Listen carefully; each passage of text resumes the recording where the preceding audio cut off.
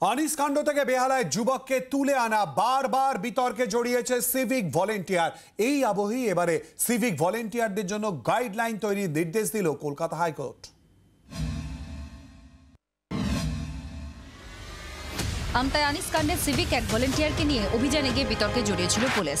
ওই সিভিক ভলেন্টিয়ারকে গ্রেপ্তারও করা হয়। শুধু আনিস কাণ্ডেই নয়, সিভিক ভলেন্টিয়ারদের কাজ বা ভূমিকায় অনেক ক্ষেত্রেই প্রশ্ন উঠেছে। শেষ সংযোজন বেহালায় সরসুনায় এক যুবককে তুলে নিয়ে যাওয়ার অভিযোগ দুই সিভিক ভলেন্টিয়ারের বিরুদ্ধে। এই ঘটনার জেরেই এবার সিভিক ভলেন্টিয়ারদের জন্য গাইডলাইন তৈরির নির্দেশ দিল কলকাতা হাইকোর্ট। রাজ্য পুলিশের আইজিকে বিচারপতি রাজশেখর মান্তার নির্দেশ। সিভিক ভলেন্টিয়ারদের জন্য নির্দিষ্ট গাইডলাইন তৈরি করতে হবে। উনত্রিশে মার্চের মধ্যে গাইডলাইন তৈরি করে আদালতে জমা দিতে হবে।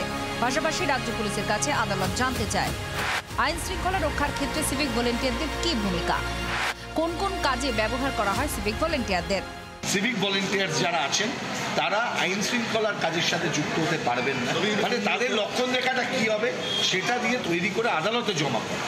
এবং যার উপর নির্ভর করবে পরে কতটা তাদের এখতিয়ার থাকবে কতটা এখতিয়ার থাকবেন না পুলিশ তাদেরকে কোন কাজে ব্যবহার করতে পারবে কোন কাজে ব্যবহার করতে পারবে। দু হাজার একুশ সালে সাতাশে সেপ্টেম্বর। বেহালা সরসুনায় পুলিশের সঙ্গে অভিযানে গিয়ে এক যুবককে তুলে নিয়ে যাওয়ার অভিযোগ ওঠে দুই সিভিক ভলেন্টিয়ারের বিরুদ্ধে। পরিবারের অভিযোগ, বাড়িতে অভিযানে যায় সরসুনা থানার পুলিশ। পুলিশের সঙ্গে ছিলেন দুজন সিভিক ভলেন্টিয়ার।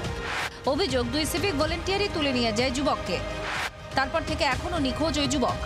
এই ঘটনাতেই আদালতের দ্বারস্থ হয় নিখোঁজ ওই যুবকের পরিবার। সেই মামলায় এবার সিভিক ভলেন্টিয়ারদের গাইডলাইন তৈরির নির্দেশ হাইকোর্টের। অনবংশ নিয়োগের রিপোর্ট, জি চব্বিশ ঘণ্টা। বাংলার আওয়াজ, বাঙালির আবেগ, জি চব্বিশ ঘণ্টা।